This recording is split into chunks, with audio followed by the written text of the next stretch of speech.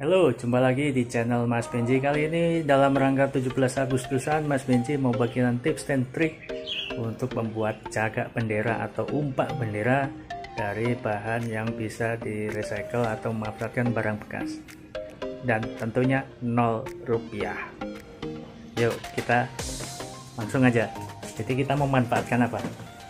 Nih, jika kalian punya apa ya? Seling belanja air, kadang kan nah ini botol bekas uh, dari langsung Mas Benji sebutkan merek aja ya dari Le Mineral.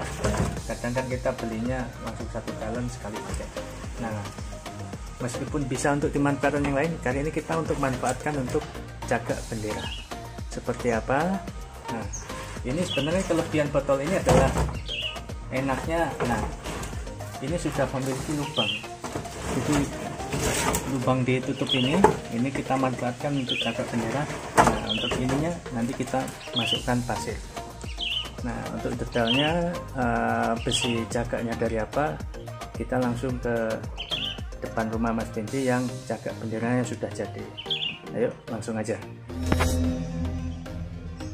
Nah kita sudah sampai depan rumah. Ini yang Mas Benji bilang uh, jaga bendera atau umpak bendera dari galon bekas le mineral.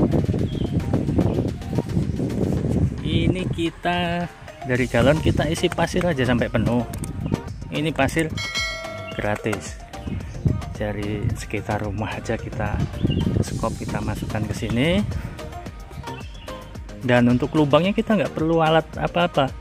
Ya karena lubangnya udah pas.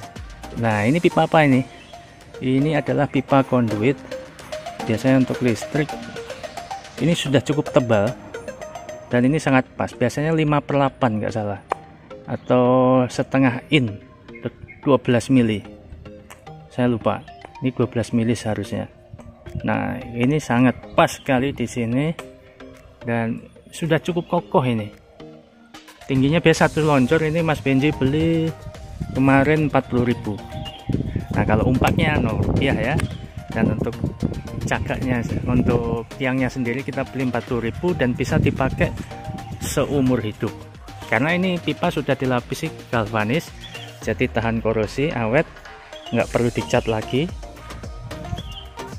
Dan kalau kita mau bongkar pasang kalau malam ini tinggal aja tinggal cabut aja. Nah.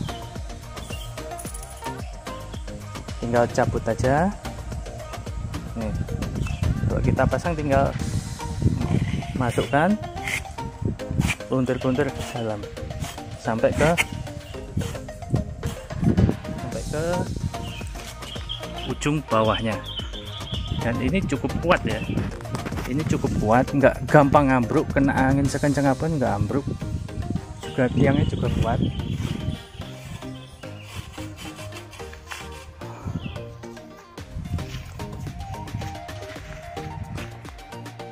nah ini cocok untuk misalkan RT kalian pengen seragam ya bosan dengan umpak yang kotak-kotak saja kita bisa mendapatkan betul bekas saja tinggal kita modal. Cat saja kita kasih logo RT kita sudah aja satu RT kompak pakai umpak yang sama. Dan tentunya tiangnya juga bisa dipakai untuk Agustusan di tahun-tahun ke depannya baik terima kasih itu sekian tips dari Mas Benji. Semoga uh, bermanfaat. Dan selamat hari kemerdekaan. Menyambut bulan 7 Agustusan kita harus tetap semangat mengisi kemerdekaan ini. Bye bye jangan lupa ya subscribe dan like. Dan sebarkan video ini supaya bisa berguna untuk orang-orang sekitar. Bye bye terima kasih